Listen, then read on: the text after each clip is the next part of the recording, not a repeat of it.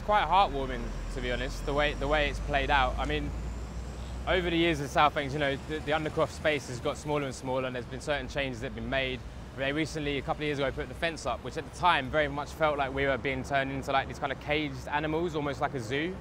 But we've kind of just adapted to that, and so from all the people always kind of looking in, it's been very kind of voyeuristic on their part. What's been great about this campaign is that we've been able to to kind of almost break down those barriers, be like, look, look come in, and, and then we've been going and talking to them because they've been supporting us. So that kind of exchange between what we call the general public and ourselves has been uh, sort of the most fulfilling. And if anything, it's, it's great that we can almost educate those people a bit about what we're about because they kind of maybe only see us on a sort of two-dimensional front, and it's great for them to kind of come in, come come inside and get kind of absorbed in our culture and show that actually they do appreciate and they appreciate that, that what we do and and it's, I, have been overwhelmed from the support from people um, who you honestly wouldn't have thought they, would have cared about about uh, just a bunch of skateboarders, as Jude Kelly would want to put it. And it's, it's much bigger than that, basically. It's, it, South Bank stands for much more than just you know skating and BMX and graffiti. It stands for human beings doing something with other human beings that wasn't planned,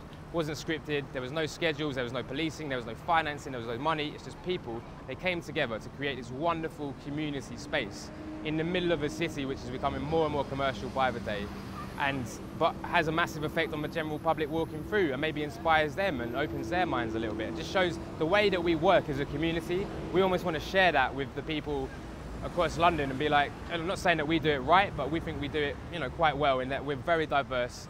There's no barriers, there's no boundaries. Everyone's on a level when you come into the Undercroft. And so I think maybe people can take elements to that and uh, put it into their lives. And I think that's been really great. But overall, it's just been it's been really heartwarming, basically, the support from the public and, and from other institutions and politicians and academics, and it just shows what an effect the Undercroft has had on London over the last 40 years.